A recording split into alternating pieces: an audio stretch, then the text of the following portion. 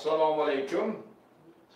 Ertaga 14 iyul kuni soat 16:00 da adliya vazirligiga mana bu yig'ilgan barcha imzolarni topshiramiz.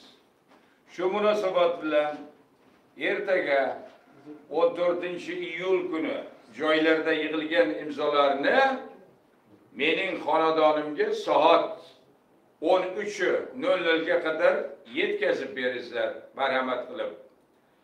Kimlar yig'ilgan imzolarni soat 13:00 ga qadar mening xonadonimga yetkazib berishga ulgurmasa soat 16:00 ga qadar ana adliya vazirligi oldiga borib o'sha yerda uchrashamiz. Yig'ilgan imzolarni bizlarga topshirasizlar biz mana bu yerda yig'ilgan imzolarga qo'shib adliya vazirligiga topshiramiz ertaga soat 16:00 ga qadar vaqt ko'p 36 millionni xalq bu deyarli mana soat hozir nechi bo'ldi Ondan. O'ndan yigirma minut o'tibdi.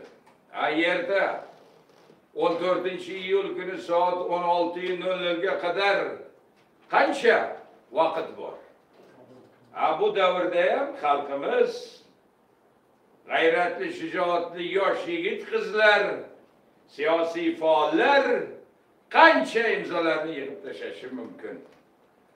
Alloh biz bilan Parvardigor bizga mehribon va doim bizga madadkor va xalqimizni o'z panohida asraydi. Inshaalloh xalqimizga farovon, erkin hayotni Parvardigori egam nasib etadi. Shu yo'lda bizga Parvardigorim madadkor bo'lsin.